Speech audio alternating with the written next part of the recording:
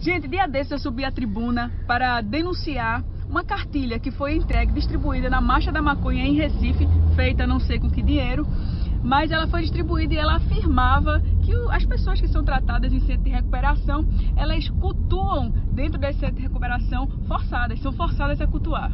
Então veja aí esses meninos em uma das nossas cruzadas. Alguém lá cultua forçado? Vocês são colocados na... Vocês vieram aqui forçado? Não? de forçado. Quem veio feliz e dando glória a Deus no ônibus?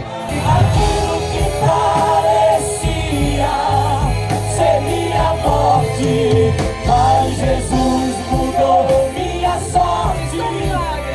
Sou um milagre, estou aqui. Milagres de Jesus. Vão nessa força. Jesus é com você.